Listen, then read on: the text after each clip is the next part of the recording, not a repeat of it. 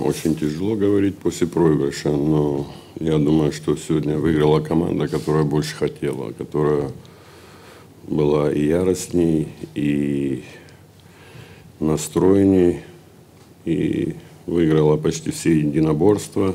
Очень хорошее движение было, поэтому, я думаю, мы проиграли. Пожалуйста, коллеги, ваши вопросы главному тренеру по прошедшему матчу. И не забывайте представляться.